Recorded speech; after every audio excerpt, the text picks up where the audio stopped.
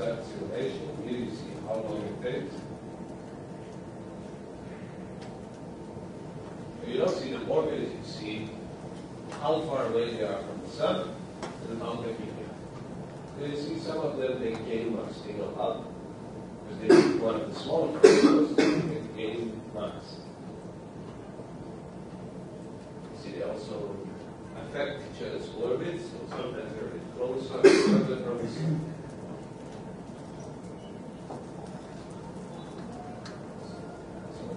Here, one astronomical unit, you see some more massive object already forming.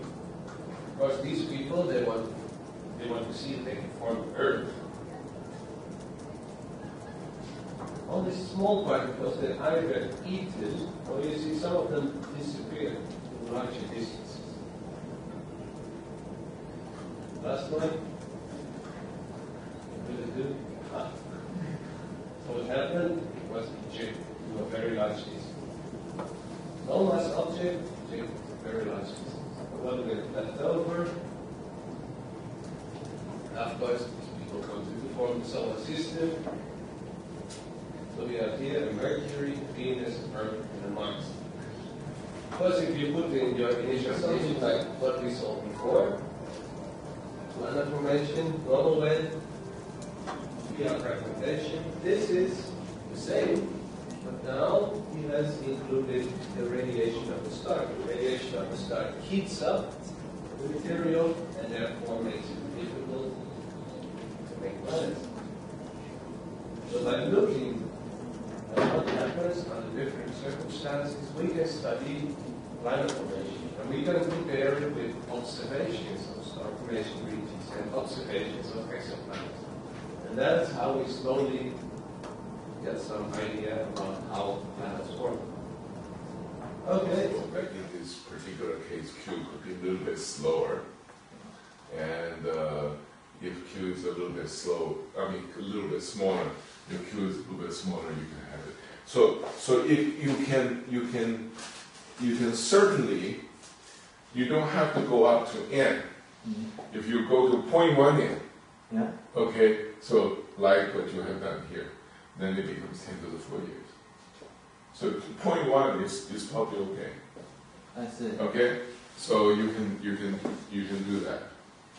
I see. But certainly you will get some angular momentum.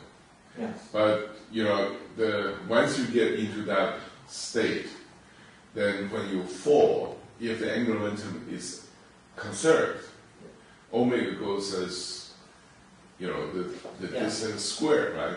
The outcome of such an illusion would be, you know, a white dwarf and a neutron star, which was, in a fact, a fairly white dwarf.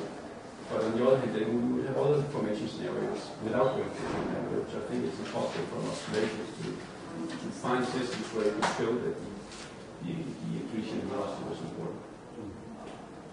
The thing is that the, the neutron white dwarf systems, which we believe could have gone through common envelope phase, if the final orbital period is about three days, it might have well evolved through this isotropic re-emission model that that Philip applied to Cygnus X2 and, and we looked at for, for the second process we saw by Dwarf companion. So it's very difficult to tell from the observed parameters what was the, the required answer. Uh, Bulletin minus five is a good estimate. So, so if, if we take 1% of body pollution rate, if we take, what's, what would be the body pollution rate for the neutron star in the region I don't know. It's probably on the high side, I think, minus 5 solar mass is what it was just doing. Limited to energy. Hmm? Limited to energy. Well, that's the question. We don't know about this. And then the magnetic fields of the neutron star Well, if it's limited to anything, then it's then the minus 5.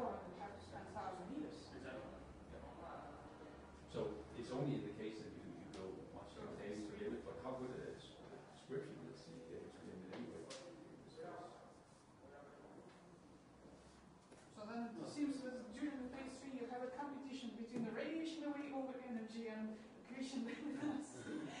and then all the initial assumptions about whatever body you have, whatever orbit you have, it just doesn't matter